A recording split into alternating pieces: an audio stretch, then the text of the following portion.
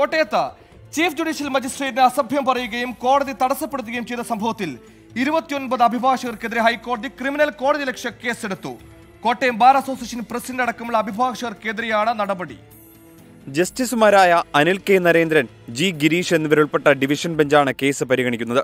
മജിസ്ട്രേറ്റിനെതിരെ അസഭ്യം പറഞ്ഞ അഭിഭാഷകരുടെ നടപടി നീതിന്യായ സംവിധാനത്തിന് അവമതിപ്പുണ്ടാക്കിയെന്ന് ഡിവിഷൻ ബെഞ്ച് വ്യക്തമാക്കി. തട്ടിപ്പ് കേസിലെ പ്രതിയെ ജാമ്യത്തിലിറക്കാൻ കോട്ടയം ബാറിലെ അഭിഭാഷകനായ എ പി നവാബ് വ്യാജരേഖ തയ്യാറാക്കിയെന്ന് നേരത്തെ കോടതി കണ്ടെത്തിയിരുന്നു. തുടർന്ന് കോട്ടയം സി ജെ എമ്മിന്റെ നിർദ്ദേശപ്രകാരം ഈസ്റ്റ് പോലീസ് അഭിഭാഷകനെ പ്രതിയാക്കി കേസെടുത്തു. ഇതിലാണ് അഭിഭാഷകർ പ്രതിഷേധിച്ചത്. നേരത്തെ ബാർ കൗൺസിലും സംഭവത്തിൽ അന്വേഷണത്തിന് സമിതിയെ നിയോഗിച്ചിരുന്നു.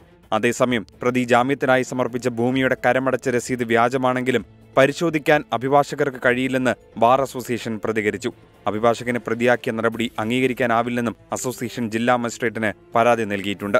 ട്വന്റി കൊച്ചി.